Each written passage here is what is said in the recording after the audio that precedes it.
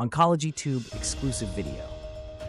At ASCO 2025, a pivotal study took center stage, the Challenge Trial, published in the New England Journal of Medicine on June 1, 2025.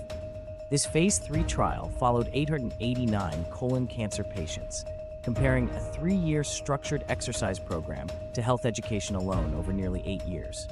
The primary endpoint, disease free survival, showed a 28% lower risk of recurrence or death in the exercise group, with five year DFS at 80.3% versus 73.9%. Overall survival improved significantly, with a 37% lower risk of death. 90.3% of the exercise group survived at eight years compared to 83.2%.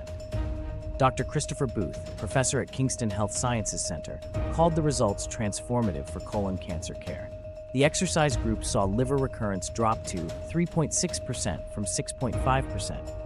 New cancers fall to 5.2% from 9.7%, plus better fitness and quality of life. Mild musculoskeletal issues rose to 18.5% in the exercise group, but there were no major safety concerns. Terri, a 62 year old patient from Ontario, stayed motivated with coaching, walking 45 minutes several times a week to feel better.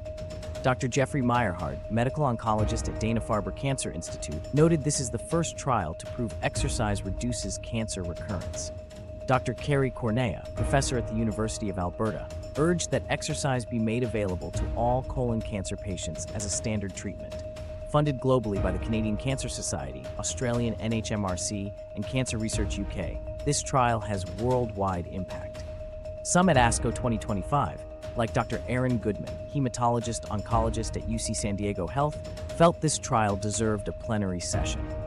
It's now encouraged to integrate structured exercise into colon cancer care, making exercise specialists a key part of the healthcare team. If you like this video, please considering sharing and subscribing here and visiting our written web companion on oncologytube.com, which is noted in the description.